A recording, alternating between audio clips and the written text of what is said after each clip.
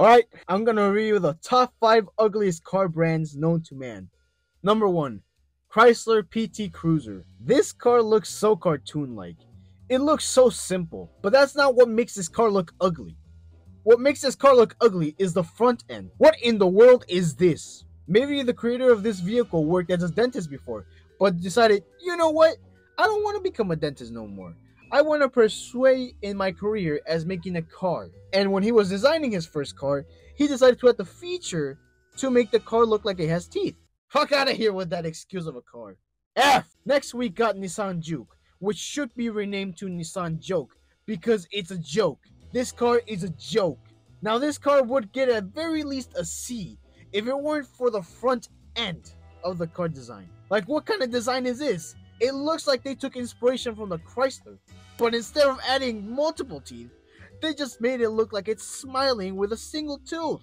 F! Alright, moving on. Nissan Cube. Lord have mercy, it's another Nissan Cube. This. This is why we can't have good things in life. It looks like the Nissan Cube was made from someone who discovered some old drawings of their childhood and stumbled across a car drawing and wondered, how can I convert this drawing into real life? And boom, that's how the Nissan Cube was born. End of the story. F! Now we have Ford Scorpio. Now for this car, I have mixed feelings about it. On one hand, it looks decent. It doesn't look attractive, yet it doesn't look hideous like the rest of them. It looks like a car for someone who just needs it to get to work or school. That I can understand. But on the other hand, the design and the structure of it looks lazy. It looks like it only needs a simple wind blow to tear down the car apart. I will say this, this car gets at least a D for effort. It doesn't look like the hideous Nissan joke. Now before we go into our last ugly car brand, I would like to make some honorable mentions. Alright, the last ugliest car brand is the Fiat Multipla. Look how goofy this car looks.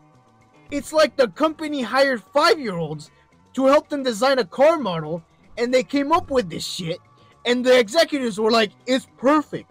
It's beautiful. Fuck that. I mean, why this? What purpose does this feature have? I honestly feel like this car uses more material than any other car brand, and it's still not selling in the market. And to those who own this car in real life, go fix yourself. Like, actually, fix yourself.